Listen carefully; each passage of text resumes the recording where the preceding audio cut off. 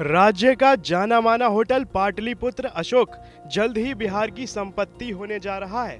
केंद्रीय पर्यटन मंत्रालय ने इसे राज्य सरकार को ट्रांसफ़र करने की घोषणा पहले ही कर दी है। इसके बाद केंद्र और राज्य सरकार के बीच होटल को लेकर आपसी सहमति भी बन गई है। परंतु अभी इस होटल को पूरी तरह से बिहार का होने या ट्रांसफ़र होने में दो से तीन महीने का समय लगेगा।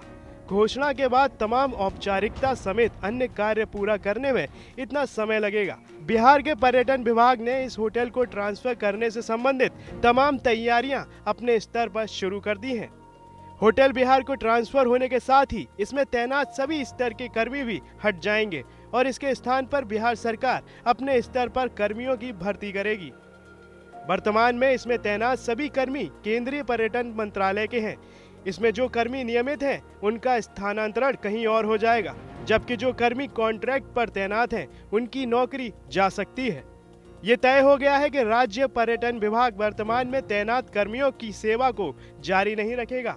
ऐसे में अधिकतर कर्मियों के बीच बेचैनी बढ़ गई है। इस समस्या को लेकर आने वाले समय में बखेड़ा भी खड़ा हो सकता है।